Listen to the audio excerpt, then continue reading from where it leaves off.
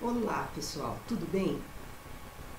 O assunto da aula de hoje são as regras que orientam o desenvolvimento de um desenho técnico. Essas regras são determinadas por normas publicadas pela ABNT. E você sabe o que é a ABNT? A ABNT é a Associação Brasileira de Normas Técnicas. Trata-se do Foro Nacional de Normalização por reconhecimento da sociedade brasileira desde a sua fundação, em 28 de setembro de 1940, e confirmado pelo governo federal por meio de diversos instrumentos legais. A ABNT é responsável pela elaboração das normas brasileiras, as NBR, elaboradas por seus comitês brasileiros, organismos de normalização setorial e comissões de estudos especiais. O trabalho humano se torna material por meio de procedimentos, regras, instruções, modelos que podem ser repetidos, ensinados e aprendidos. Sem essa condição fundamental, ou seja, a expressão do conhecimento em regras compreensíveis pelo outro, a civilização material não tem condições de se reproduzir. Por esta razão, as normas técnicas são tão importantes. A ABNT publicou um conjunto de normas que são utilizadas pelos projetistas de diversas áreas do conhecimento para a execução de desenho técnico. Essas normas se constituem nas regras que permitem que o desenho técnico seja construído e interpretado da mesma maneira em todo o país e até mesmo em outras partes do mundo, pois as normas brasileiras seguem padrões internacionais. As principais normas de desenho técnico são as seguintes: NBR 10067 Princípios Gerais de Representação em Desenho Técnico, NBR 10126, Cotagem em Desenho Técnico, NBR 16752, Desenho Técnico, Requisitos para a Apresentação em Folhas de Desenho, NBR 16861, Desenho Técnico, Requisitos para a Representação de Linhas e Escrita. Dentre essas normas, hoje nós vamos ver com mais detalhes aquelas relacionadas à apresentação gráfica da folha de desenho. Vamos começar com a NBR 16752. A NBR 16752 tem por objetivo padronizar todos os elementos relacionados às folhas de desenho técnico Dentre elas, determina as características dimensionais das folhas em branco e pré-impressas a serem aplicadas nesses desenhos. A norma apresenta, entre outros aspectos, o layout da folha, a posição e dimensão da legenda, margem e quadros, marcas de centro, escala métrica de referência, sistema de referência por malhas e marcas de corte.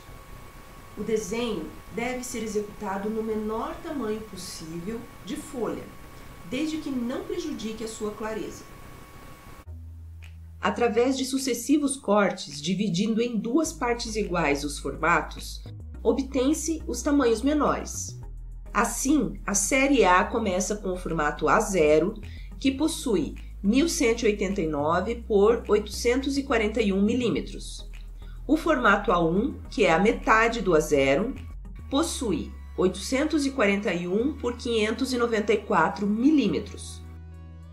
O formato A2 possui 594 por 420 milímetros.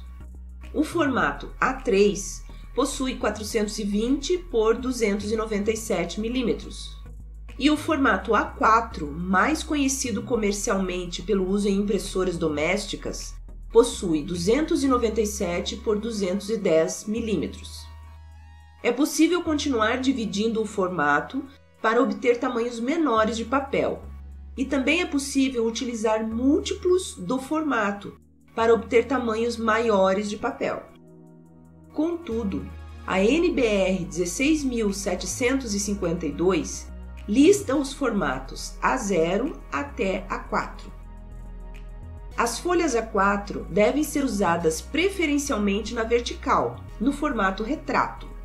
E nos formatos maiores que o A4, o A0, o A1, A2 e A3, devem ser usados preferencialmente na horizontal, ou seja, no formato paisagem.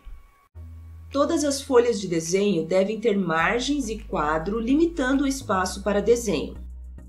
A margem esquerda deve ter 20 mm de largura para permitir que a folha seja perfurada e arquivada.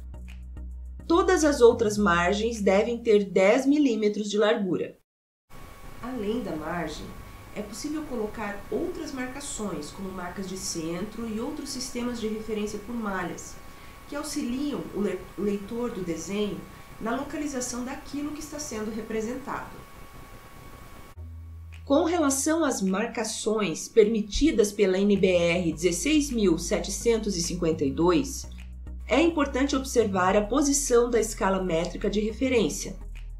Também deve-se ter o cuidado de usar letras e números normatizados e posicioná-los centralizados no espaço da margem. Finalmente, as linhas de centro devem atravessar o quadro em 5 milímetros. Em seguida, vamos falar sobre a localização e disposição do espaço destinado para o desenho, o texto e a legenda. Como regra geral, deve-se organizar os desenhos distribuídos na folha de modo a ocupar toda a área e organizar os textos acima ou ao lado da legenda, junto à margem. Observe qual área da prancha deve ser destinada ao desenho, à legenda e aos textos. O desenho principal, se houver, é colocado acima e à esquerda, no espaço para desenho.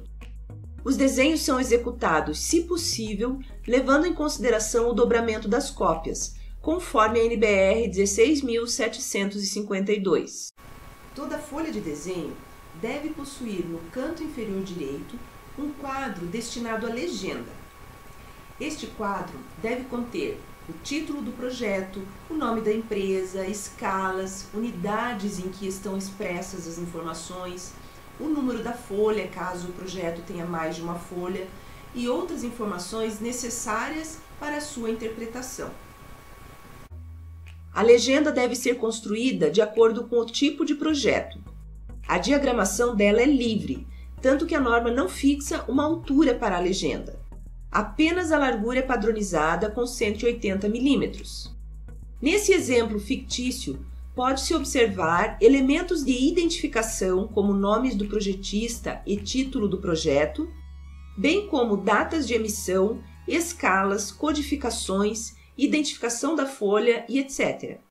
O texto que complementa o desenho deve conter todas as informações necessárias para o seu entendimento.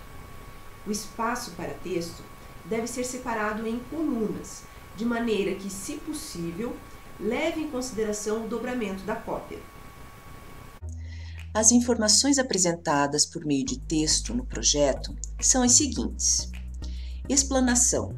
Informações necessárias à leitura do desenho, tais como símbolos especiais, abreviaturas e tipos e dimensões. Instruções informações necessárias à execução do projeto, tais como listas de materiais e número de peças. Referências: informações sobre outros documentos. Localização da planta de situação. Indicação de localização da área construída. Tábua de revisão. Registro das correções, alterações e ou acréscimos de desenhos ao projeto. Nesse exemplo, é, é possível observar o desenho principal, os desenhos auxiliares à compreensão do projeto ou detalhes, a legenda, os textos e o quadro de especificações.